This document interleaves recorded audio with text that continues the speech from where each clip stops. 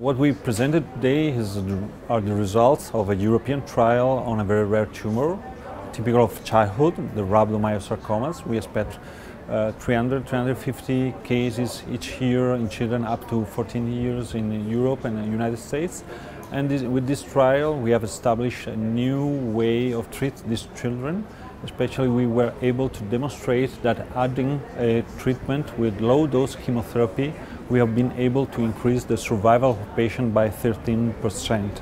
This is, uh, in our opinion, a major result because uh, uh, we add low-dose chemotherapy. Low-dose chemotherapy means also low toxicity and giving a low toxicity chemotherapy we can increase the survival of patients with rhabdomyosarcomas.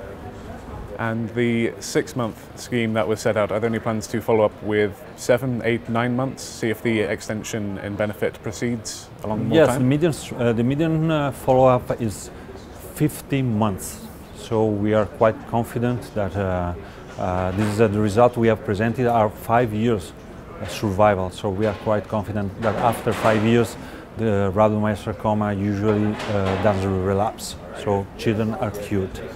Would longer treatment have uh, bigger benefit?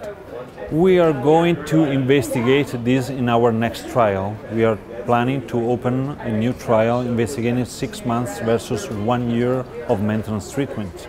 Uh, so we need uh, scientific data before we can say that.